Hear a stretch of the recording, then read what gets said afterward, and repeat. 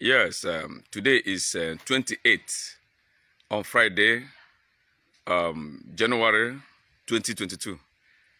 Being on Friday, just look at the way our kindred look like, our village look like. Like Sister Tomo, but today is Friday. What happened? I will tell you.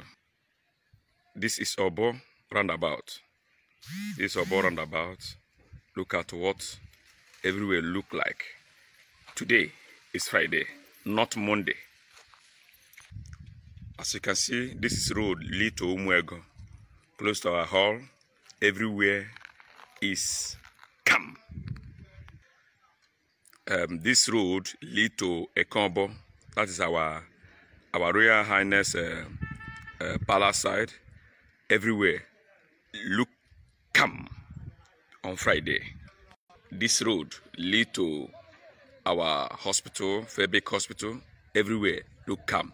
This is the way all Obo, Obo, Umutanze as a whole is being looked at this morning. So what happened? I will tell you now. So what what am I saying? This morning, Ebubagun mixed up with uh, DSS, mixed up with um, other um, securities.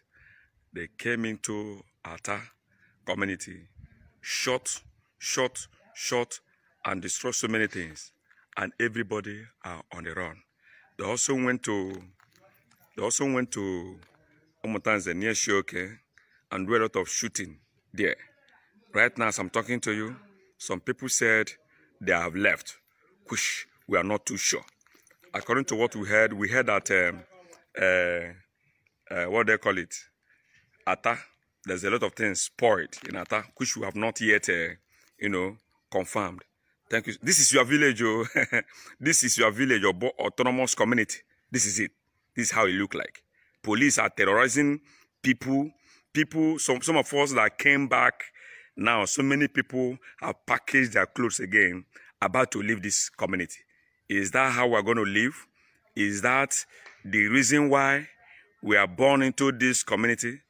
I there's before we used to say that it's because of these uh, boys. Now there's no no more.